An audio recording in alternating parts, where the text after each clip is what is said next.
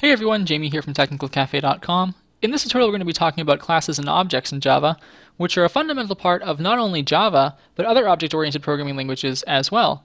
Um, so the reason that they're so important is because you write all of your code within classes, and then you can take these classes and turn them into objects uh, via a process known as instantiation, and then these objects can then enable you to use code from one class in another class.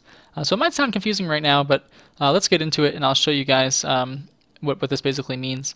So here we have two classes. We have bankaccount.java, which has basically all the attributes you'd find in a, in a simple bank account. We have um, the, the bank name, the account holder's name, uh, the, the balance, which in this case is starting at $100.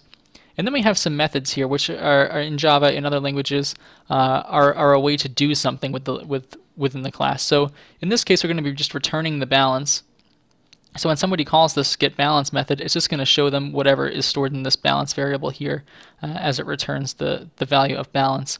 We then have uh, a method called deposit, which takes an amount in and then updates the balance here with that amount. So in this case, it's going to be taking, let's say we enter $100 here, it's going to be updating balance to be whatever balance is plus 100. And then this would then reflect as $200 there. We have the same thing with the withdrawal method with the stipulation here that if the withdrawal amount is greater than the balance of the bank account, it's only going to take whatever's left in the bank account.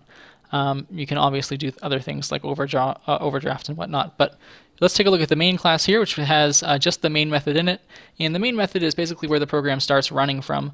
Uh, there's only going to be one main method within a program, as we didn't have one. Uh, if you didn't, if you didn't notice, we didn't have one in the bankaccount.java class. Um, regardless of whether you have 100 classes or just two classes, only one of them can have the main method.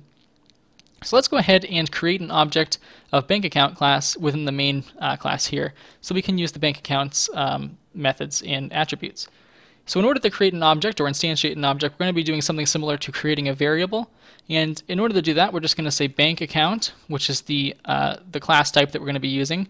Um, we'll give it a name just like with a variable. So my account equals new bank account. And what this new bank account thing is, it's, it's, different than creating a variable, is actually a call to the bank account class's constructor method. And that's basically just a method that sets up a class. Um, we're not actually using it here in this class. We didn't create one. Uh, there, the class does have a default constructor method, which uh, happens behind the scenes, so that's why it's not written in here. Although you can change it to do things. Um, we'll talk about that in a later tutorial here. But basically, we just use the, the class name that we want to create an object of. Um, then give the object a name, similar to creating a variable, and then we just set it equal to the constructor method, a new bank account. So we're setting up a new bank account object. Now that we've instantiated, instantiated an object called myAccount, we can do things such as print out uh, any public attributes of the class. So anything that's um, public can be seen in other classes. So we can print out the bank name by going system.out.println, and then within that we'll just say myAccount dot and I believe it's bank name that we have here. And we'll just uh, terminate that line there and print this. And what this is going to allow you to do is see the bank name within this class. So we printed myaccount.bankname, and since it was public, we could actually access it. Uh, if we try to access something that's private within another class, what's going to happen? Uh, we'll try to print the account holder here. You'll notice that we're going to actually get an error method because this uh, an error message rather because this is not uh, something that's public, and it's going to say the field bank account uh, bank dot account holder is not visible.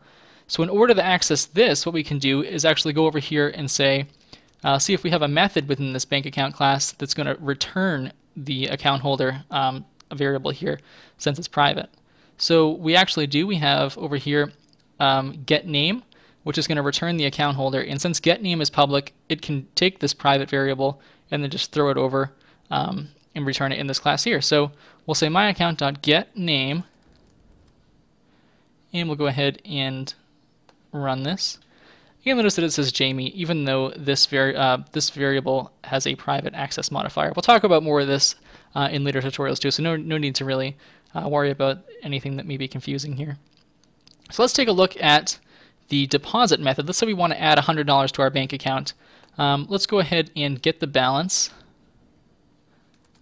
which is a method within our class, you'll notice that when we say get balance, we have $100 here.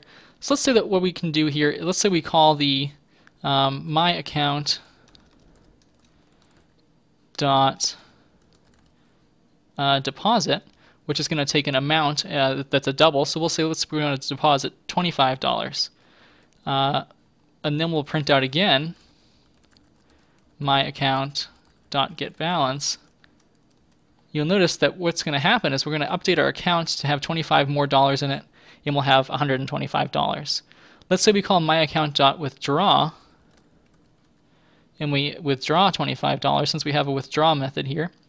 Um, what's going to happen is we're going to end up withdrawing 25, and we should have a value of um, 75 here. And let's say we want to withdraw more than the account has in it. So there's 75 now. Let's say we want to withdraw $100. Well, we included the conditional statement within our bank account um, that says if we want to withdraw something that's more than the balance, only the balance is going to be withdraw, withdrew. You'll notice that here in our in our uh, when we ran this, what was what happened was $75 was withdrawn, giving us a zero amount.